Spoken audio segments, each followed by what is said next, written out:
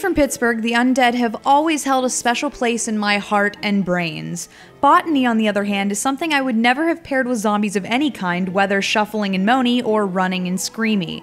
The combination feels effortless in Plants vs. Zombies, though, and has given me a good case of the green thumb.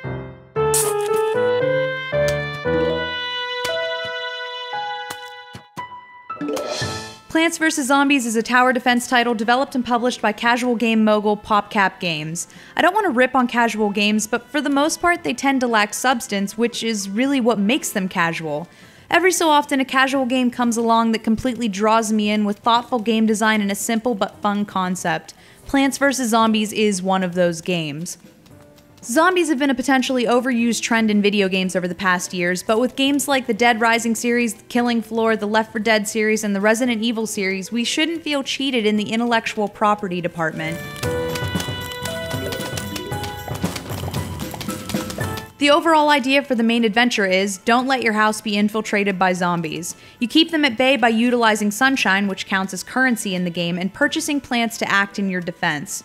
You build up a battleground and keep the zombies out of your home. You have five lawnmowers to act as a last resort, poised at the end of each row between the zombies and your house, and once a zombie touches them, the lawnmower will roll its way down the row, chopping up any zombie it happens upon.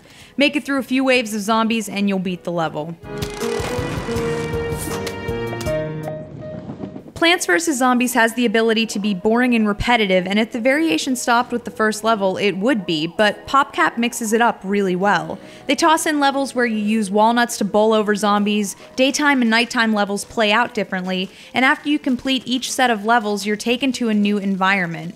Not to mention the new zombies that are introduced, each of which come with their own special attack set.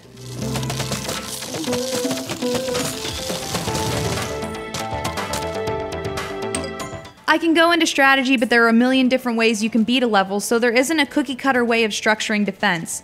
I enjoy games that don't have any sort of set solution and allow for free form problem solving.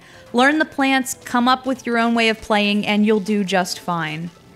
Plants vs. Zombies is very cute, funny, and is honestly something I could see anyone playing. From children to adults, casual to hardcore gamers, it's just a great title. This game came out a while ago, but it stood the test of time.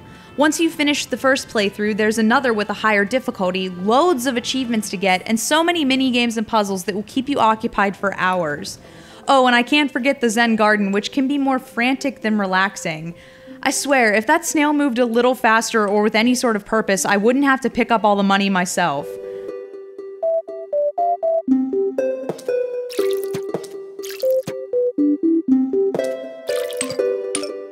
I love hopping in on Plants vs. Zombies and playing some Endless Vase Breaker, and although at times it makes me want to break real things, the game is still mad fun. Plants vs. Zombies has the ability to be tough, but at the same time, this title is also incredibly fair and adaptable. Since this game's release, many developers have tried to mimic the success of Plants vs. Zombies with little result.